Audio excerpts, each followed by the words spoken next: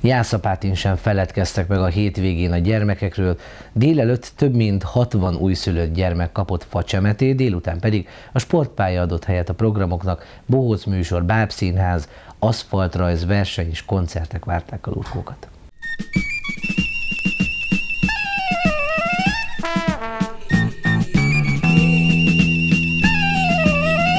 Veszekedtem a kisfiammal, mint törpével egy óriás. Lóci, ne kalapáld a bútor. Lóci, hová mész? Mit csinálsz? Jössz le rögtön a gázrezsóról. Prózával.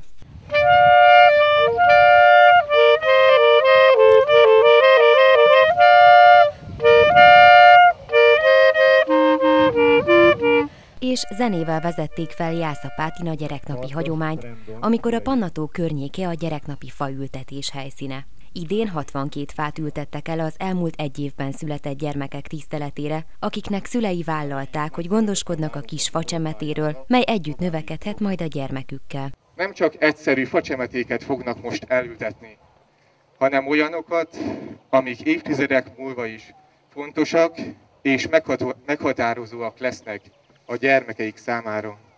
Hiszen majd, ha visszatérnek és feltekintenek ezekre a fákra, akkor önök, önökre fognak emlékezni.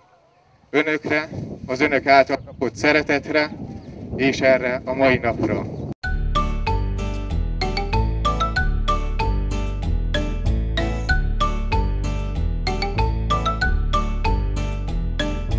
Jön a kocsi, most Jaj, de nagy... A délelőtti program után egész nap városnéző kisvonat járt kelt, a vidám gyereksereggel és szüleikkel. Délután pedig a városi sportpályán folytatódtak a gyermekprogramok. Jegenye ingó, bingó, rajta ül egy ázott